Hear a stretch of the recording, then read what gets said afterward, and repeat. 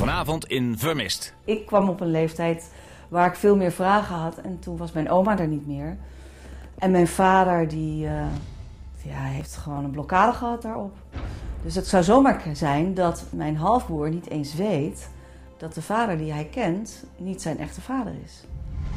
Vermist vanavond om half negen op Nederland 1.